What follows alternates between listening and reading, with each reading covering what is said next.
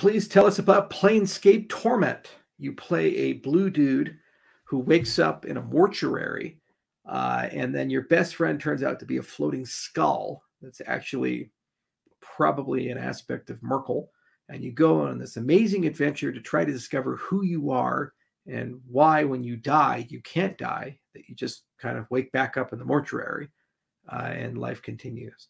Uh, so, uh, turns out that you're called the Nameless One and that you did some really horrible, fucked up shit. And that's why you lost your name. And different versions of yourself uh, were basically chasing this. Uh, and then you have to go and rediscover your ancient crimes and your true identity throughout the game. It's one of the best written games, uh, and it's probably one of the most interesting games ever built with the Infinity Engine, uh, which is the same engine that powers Icewind Dale and Baldur's Gate. I think there's probably over a thousand pages of dialogue in Planescape Torment, and there's really probably never going to be a game quite like it again. It was out there and it was magical, and uh, I'd highly recommend uh, picking up the enhanced edition from I think Beamdog Studios released it. Very, very, very good game.